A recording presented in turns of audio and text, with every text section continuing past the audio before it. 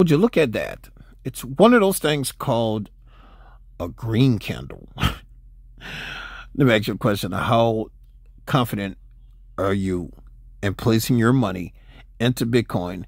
And you see, look, you're looking at it. You see a double tap, pop, pop. See a double touch and go.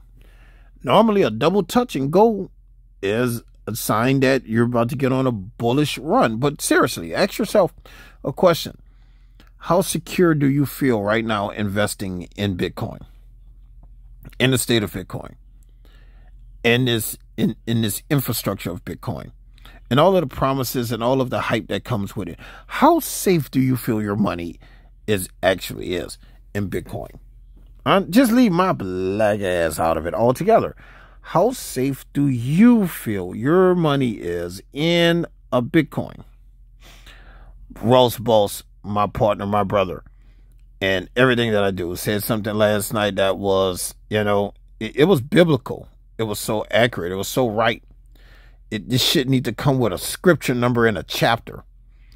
He said, after three weeks, you are who you are. and we were actually talking about, we were talking about um, football, right? And we were saying after the third, after the third week, that's the identity of that team.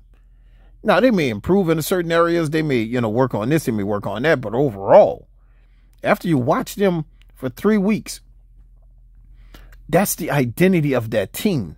That's what they're going to do. That's what that that's what that coach feels that they can do, and he knows what they can't do after three weeks.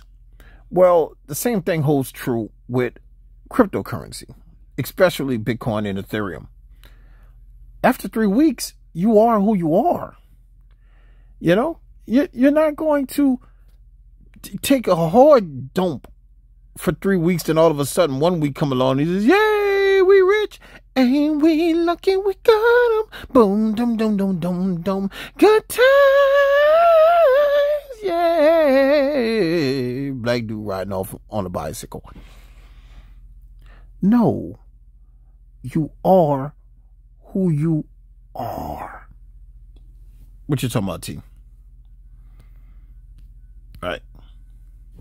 What you're looking at right there, that is Swiss JPY. All right. Weekly chart. Weekly chart of Swiss JPY. What do you see? Now you've you've witnessed three weeks of Bitcoin. You saw what, what three weeks of Bitcoin look like. That right there, ladies and gentlemen, is three weeks of Swiss JPY. Pick any any any three weeks. It's a weekly chart. Pick any three week period. So, in other words, what you're what you're saying, TJ, is in the time that we wasted fuck around and fuck around and fuck around with Bitcoin, we could have really been making money? Yeah, see, this applies to me too. Because I'm not just talking to you, I'm also talking to myself. In the distraction of Bitcoin, in, in thank you, Jimi Hendrix, in the purple haze of Bitcoin that was all in our eyes. Look what we missed. See, Bitcoin wants you to focus on this one little candle here. It wants you to focus on this candle. And it wants you to think something good is going to come from that one candle, right? But look at this right here. Right? Japanese yen. It's a yen. Look what it did.